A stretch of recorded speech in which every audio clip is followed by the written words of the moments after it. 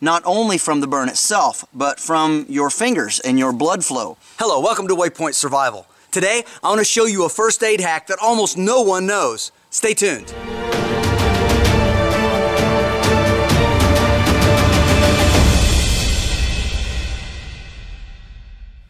So what we have here is my very small compact first aid kit that I put together for myself. Uh, it did come from a hospital, Meadowview Regional. Uh, I'm not sure where that is, but anyway, I think I bought this at a yard sale or flea market, but it was a perfect size. It uh, fits on the belt. I've got a little carabiner, of course, and I've got some other odds and ends like a whistle and some duct tape and things. I may go over this at some point in detail. But one of the things that I carry in here, and this is a recent addition, I just learned about it and I want to share it with you is I carry a pack of yellow Heinz ketchup in a small pill-size Ziploc bag. Along with that, I also carry some very small pieces, if I can dig them out here, of aluminum foil. Alright, let's get into how you use this.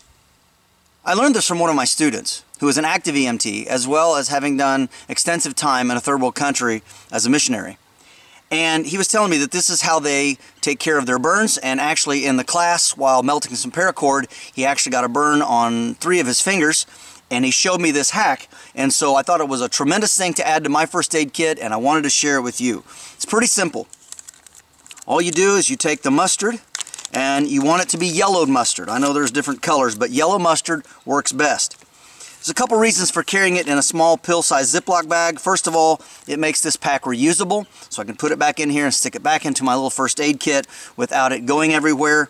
And uh, it also helps keep it from being punctured. So what you want to do is you want to just use the little tear tab and tear it open and get some of the mustard and put it on your burns, wherever it may be. Let's say we've burned these three fingers.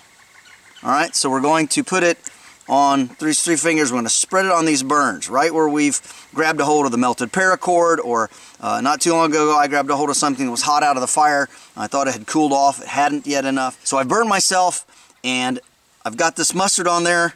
Wipe off the excess, and we take the aluminum foil, open it up, and I've already got three sheets cut. You can have as many as you want or as few as you want, but it's nice to have them already cut into shape. And you can use the shiny side or the uh, dull side. It doesn't really matter. I've read both ways. Either one can work.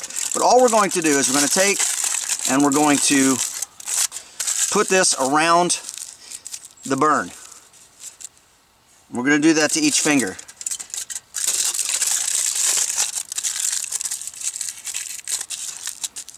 And again, you want to be careful if you have the you know burns on it. You want to keep uh, from putting too much pressure on it.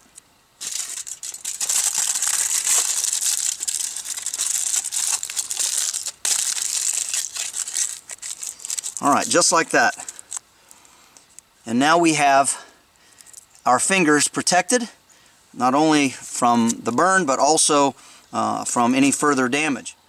So what are the reasons why you would want to carry mustard in your first aid kit, and what is the science behind it? Well, first of all, a little history. It's been used since ancient times to help heal sunburns.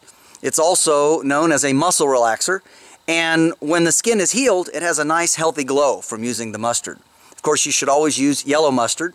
And it should never be used on really deep, like second or third degree burns. But first degree burns, even ones with minor blistering, it works great for that. Do note that it functions a little different from person to person.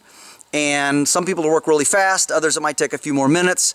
Of course, you should never use this if you have a, a negative adverse reaction to mustard.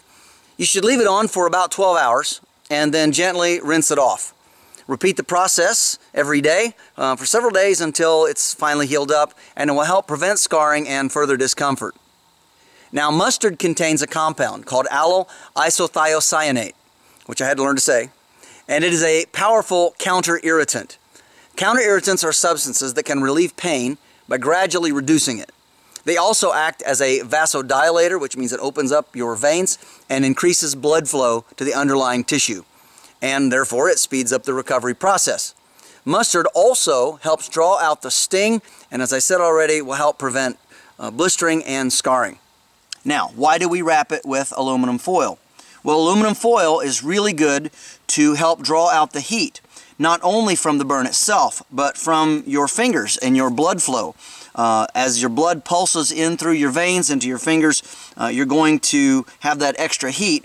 This, of course, will transfer, because it is a metal, it transfers the heat then from your finger to the outside, which helps keep the burn cool and therefore more comfortable. This is James Bender for Waypoint Survival. If you like this video, please give it a thumbs up. Also make sure and check out the links in the description box below. And while you're down there, you'll find our Patreon link. This is where you can donate to financially support the channel. And you can do so for as little as a dollar a month. And a big thank you to everybody that's been doing so.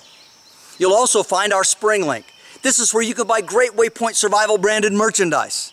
You'll also find our waypointsurvival.com link. And this is where you can sign up for great survival and bushcraft training classes. And if you haven't done so already, please subscribe to the channel. We'd really appreciate it. And when you do subscribe, make sure and press that bell button so that you can stay notified of all of our upcoming videos, and we'll talk to you next time.